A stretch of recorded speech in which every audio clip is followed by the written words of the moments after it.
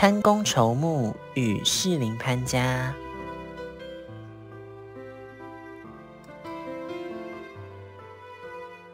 潘家先祖潘光义渡海来台，在桃园八德落户开垦。其子潘董生移居七里岸，开垦芝兰一堡、二堡与三堡，即今日的士林、北投、淡水、石门、三芝等地。其长子潘公筹移居芝兰街。八芝兰就是士林的古地名。公筹先生由农转儒，在道光与咸丰年间当起教书先生。虽然不若当年的淡北二进先生有闻名，那就是官渡的黄进与八芝兰的曹进两位先生。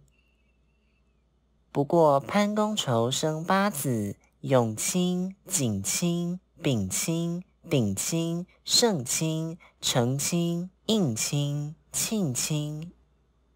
长子秀才潘永清最有成就，开垦芝兰三宝，在淡水、石门、三芝等地开凿了三条水圳，称为城渠圳。道光二十年（一八四零年），年方二十，在芝山岩上创建文昌祠，兴办艺术，从此士林文风鼎盛。后又调停张权械斗，擘画士林新街。在同治十二年（一八七三年）过世当年。在芝山岩留下洞天福地石壁。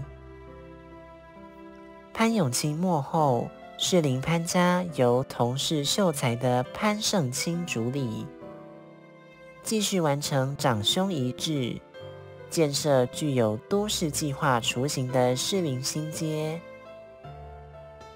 主持天后宫的迁建，那就是坐落在新街中心的慈贤宫。领衔筹建在新街旁的八芝兰公学校，并低调参与士林的活动，如一九一一年八芝兰公学校的毕业照，其弟潘承清举人是士林的科考名人中，地位仅次于陈登元进士。两兄弟在慈贤宫中。还留有庶民的龙柱。他们的侄子潘光凯久任士林街的街长。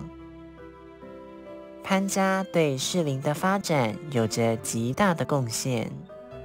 在慈贤宫前的潘宅是市定古迹，无奈缺乏维护，现在都更中。可供凭吊的是士林潘家的开基祖，位在石角山上的潘公筹古墓。潘氏后人组成的潘元祭祭祀工业，清明前会把墓园清理干净，所以拜访要选在清明后。四月中，趁着连续几天干旱，山路比较好走些。先把车子停在东山路，再沿着德行东路三百七十八巷徒步前行。过了艳阳，走进绿色隧道，前方是在山脚下的石角溪，又称兰雅溪，水面铺满绿色的浮萍。前方有一层火红的九重葛，空气混杂着水声与五色鸟的呼叫声。回头看，石角溪从此流进地下寒香。山边就开始盘踞着小花曼泽兰，用水泥整治过的溪流往上收窄。还加入一些增加溶氧的设计。过了这户别墅，沿着马路往上走，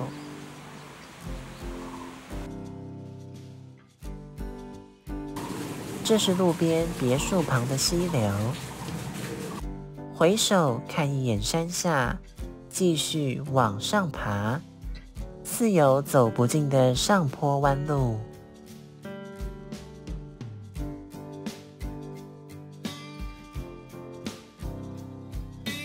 来到土地庙子德宫，可略作休息。马路左侧有几户农家。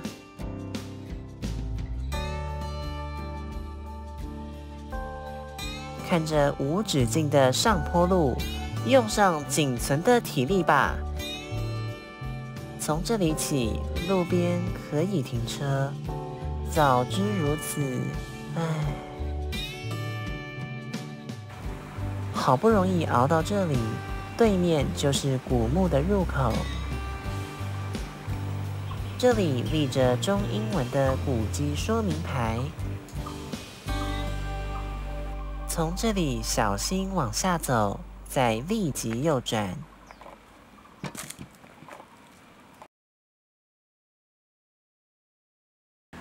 林荫遮住烈阳，可藏着无数蚊子。前方两片石板跨在小溪尖上，这时候没有流水。继续往前走，边走边赶蚊子。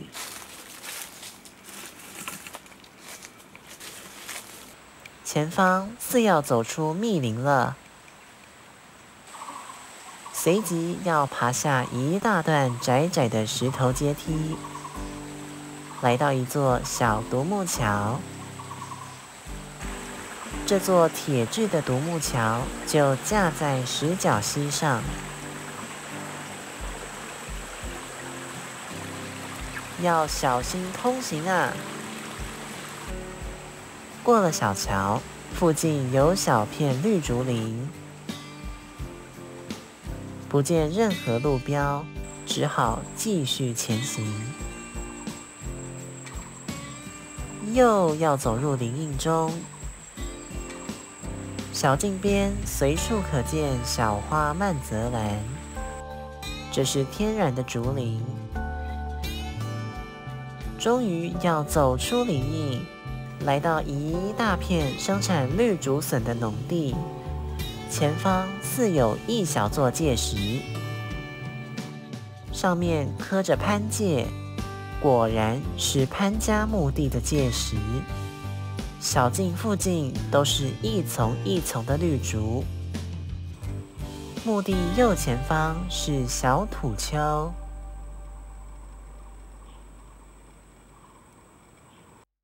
墓地左后方有石块砌起来的小靠山。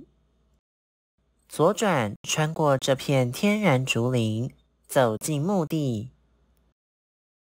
潘公丑古墓位在风水中的烘炉穴上，前方有宽阔的墓城。潘公丑卒于咸丰六年（一八五六年）。原来葬于大屯山路。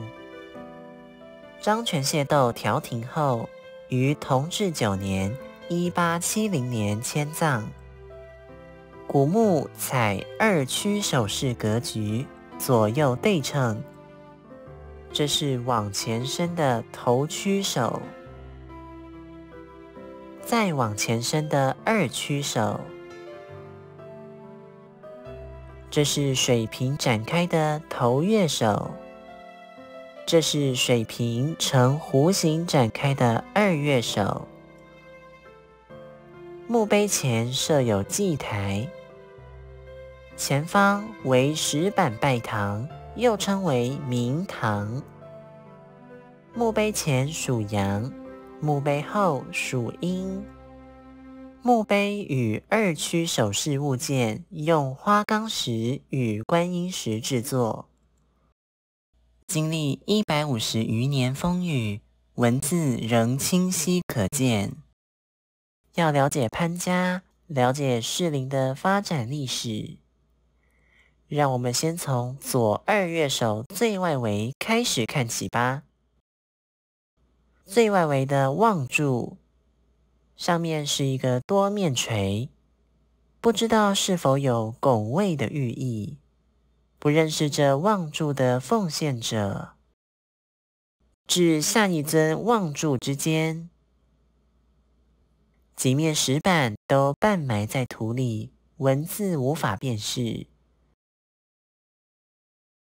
这几面是板桥大观义学校长庄正关于风水堪舆的描述。这尊望柱是一管方形石笔。同属漳州人的板桥家主林维元所献。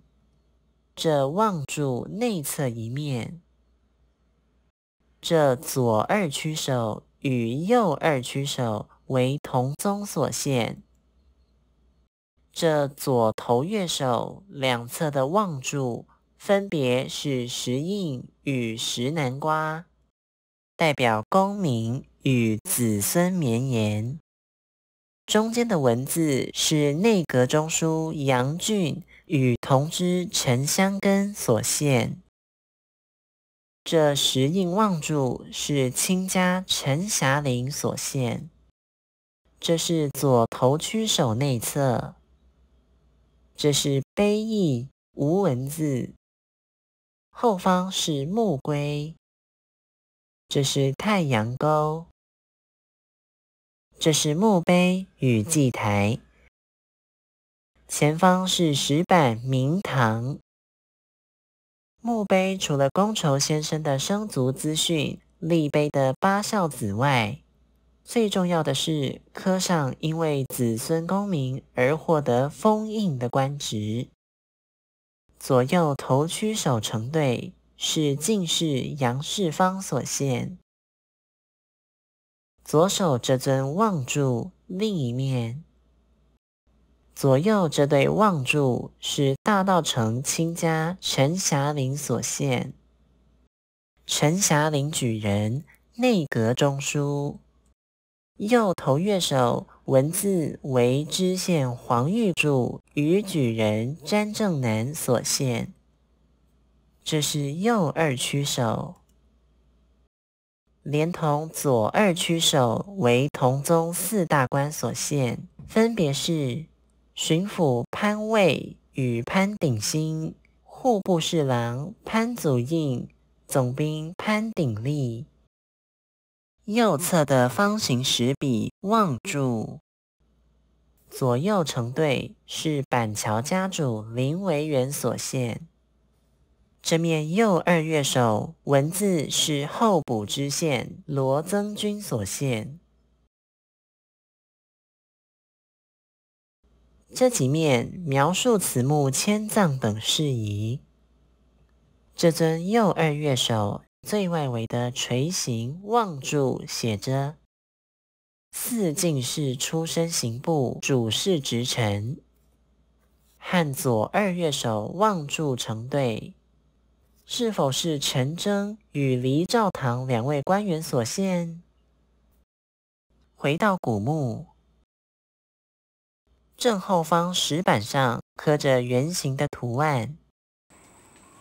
从高处看，树木遮挡着前方原来开阔的视野。守护古墓的后土在左前方的树林中。后土的视野被树林遮挡着，要走出树林才可以看到古墓。拜别古墓后，请按原路折返。绿竹林中路径不明，其中还有登山路径标志，往下只能抵达一处山中人家，便无去路。还是乖乖寻回旧路吧。由农转儒才不过两代光景，从中央至地方高官、亲友子弟，士林潘家已经结出高层绵密的人际网络。对士林的发展有着深远的影响。遗憾市定古迹的古墓缺乏明确的路径指标，古墓的文字与图形也无法方便的查阅到拓印本与全文资讯。欢迎订阅与分享。